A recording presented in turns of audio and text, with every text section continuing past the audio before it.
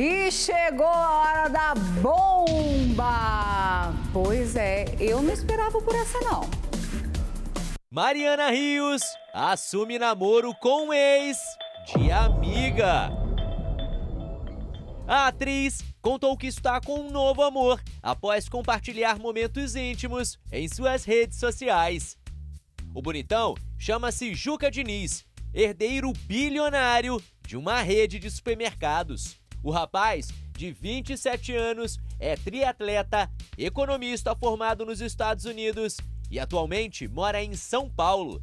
Um partidão, hein? A atriz, que tem 38 anos, assumiu o relacionamento com Juca no último final de semana em cliques feitos durante uma viagem a Paris, a cidade do amor.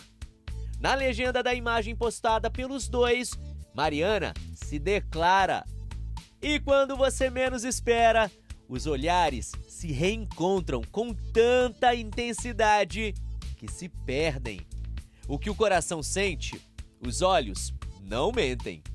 A artista parece estar apaixonadíssima pelo novo namorado. O recém-casal também foi até a Lapônia finlandesa, onde admiraram as belezas da aurora boreal em um chalé chiquérrimo, todo de vidro passearam com os doguinhos e curtiram momentos de puro romance.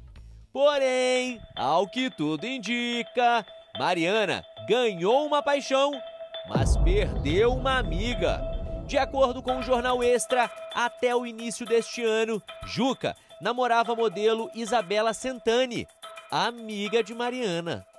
E pelo jeito, a amizade entre elas esfriou depois que Rios assumiu um novo parceiro.